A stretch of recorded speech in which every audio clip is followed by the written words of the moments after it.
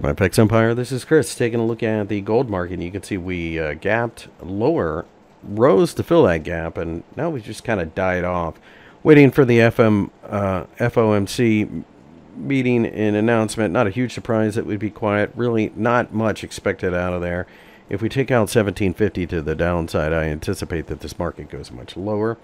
On the other hand, if we can take out the 200 day EMA, then we will test 1835. I think you're probably going to chop around, but looking at the structure of the market, I think we're running out of momentum again. So I err towards the downside, but um, I wouldn't get overly aggressive until we break down to a fresh new low.